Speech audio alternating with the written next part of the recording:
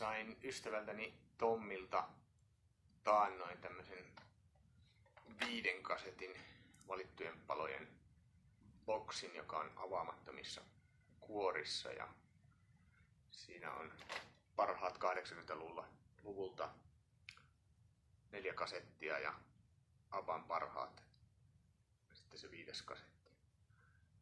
Ajattelin nyt unboxata tämän teidän kanssanne esitellä sitä ensin hieman. Tämä on siis valittujen, valittujen palojen mukana tullut joskus tämmönen laatutakuu. Kasetit on valmistettu parhaista materiaaleista nykyaikaisinta tekniikkaa käyttäen. Vuosilukua ei ole laitettu, sitä en tiedä, mutta epäilen, että tämä on 80-luvun loppu 90-luvun alku. Ja sitten lähti. Painetaan kättä. Mora, oikein hyvä avausväline. Tästä lähtee.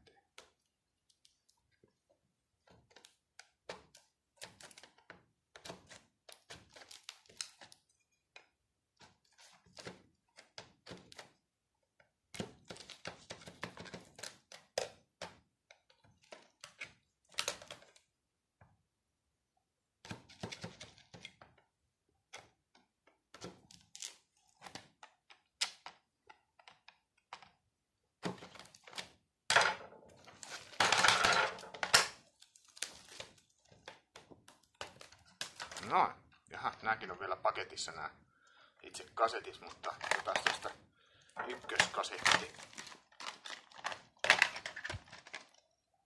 Tältä se näyttää. Sata kotimaista listasuosikkia. Ja sieltä löytyy. Lämmin hellä pehmoinen.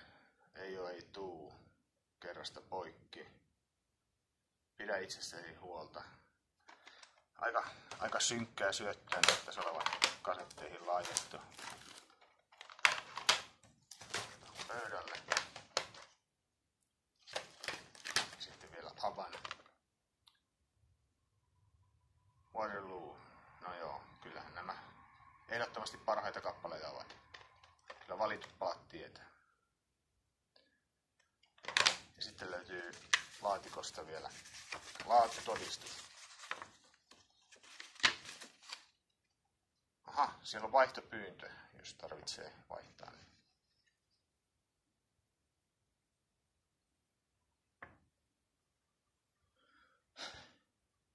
Voisin heti valittaa, että kaikki valittujen palojen tuotteet ovat sekä sisällöltään että ulkoasultaan erittäin korkeatasoisia. Siitä voisi lähettää Hyvinkäälle pikkupostin, mutta jätetään nyt se vaiva näkemättä.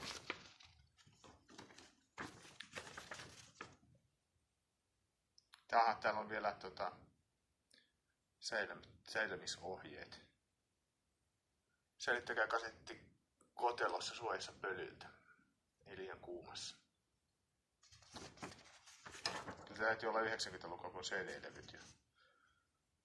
Ja videokasettejakin. Älkää avatko videokasettia itse.